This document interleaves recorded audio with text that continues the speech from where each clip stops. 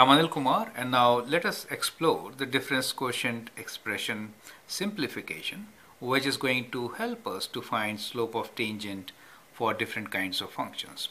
Now here the question is simplify difference quotient. We have 3 plus h to the power of 4 minus 81 over h. You might get in your test such expressions where the exponent could be 4, 5, 6 or much higher number. Now it is difficult to remember how to expand this, right? If it was 3 plus h whole square, you could have easily expanded. Now to expand such binomial expressions with higher degree, what should you use? Pascal's triangle, correct? So Pascal's triangle is the key here. Let me sketch Pascal's triangle.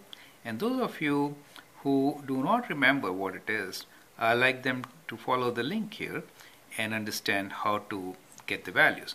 Basically, you start with 1. Let me use a, a darker color here. So you start with 1 and then as you go down on the corners, it is ones and ones, right, like this. And every time you go further down, you add previous two links. So 1 plus 1 is 2. So that is how you get. Now, this is called the zeroth row, first row, second row. Okay, so then now we are in the third row right? So in the third row, we get ends are always 1. Combine 2 plus 1, 2 plus 1 is 3.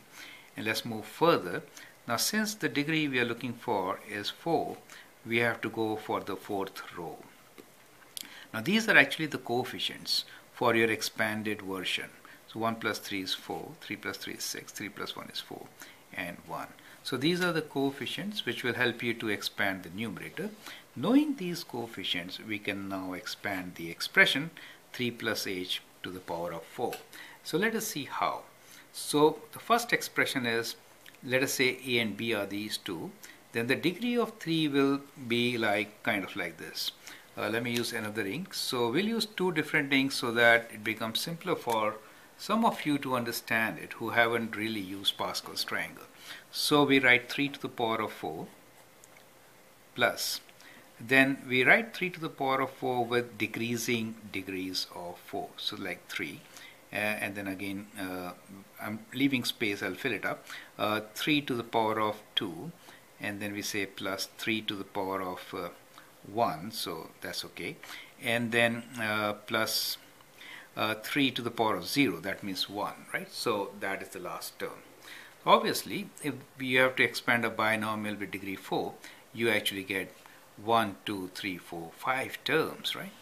Now the coefficients are given by this. So the space which I left here is for the coefficient 1, 4, 3, 4, 1. So 1, so let me write 1, doesn't really matter, 1. And then we write 4 here, okay, 4. Then 3 for the next one. And then again 4. And, and then, sorry, this is 6, I'm sorry, 6. That's what I was thinking. So it should be 1, 4, 6, right? And 4, and then 1, correct? So these are the coefficients for your binomial expansion. Now the other terms which fit in are degrees with h, right? So here it is h to the power of 0 which is 1. In this case it is h to the power of 1, then h to the power of 2, h to the power of 3 and h to the power of 4. So that is the expression which you get for 3 plus h to the power of 4 correct? And we do have minus 81 I'm running out of space. Let me squeeze it in here. Divided everything by by h right? So that is how we expanded 3 plus h. So so that is how we have did. It I'll show it once again here so let's combine all these terms now. It's too complicated. So let me write it once again. So we get 1 times 3 to the power of 4 so I'm just writing 3 to the power of 4 times h to the power of 0 which is h plus next coefficient 4 3 to the power of 3 so that's 3 cube and h plus next coefficient 6 3 to the power of 2 h square.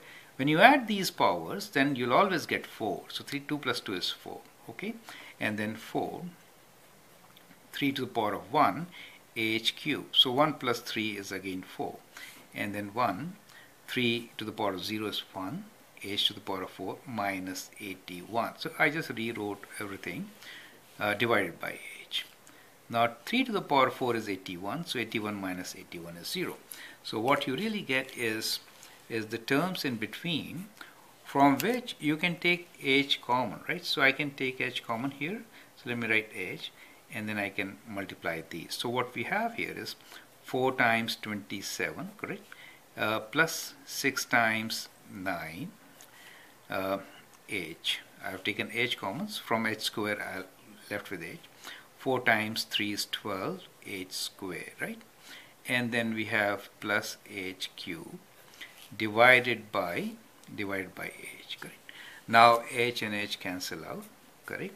So you could simplify this as these numbers. So let me take the calculator to calculate these values. So we have 4 times okay 4 times 27 equals to 108 so we have 108 plus 6 times 9 54 h plus 12 h square plus h cube right so plus h cube now this is the simplified expression for the given expression right? So that is how you could simplify it.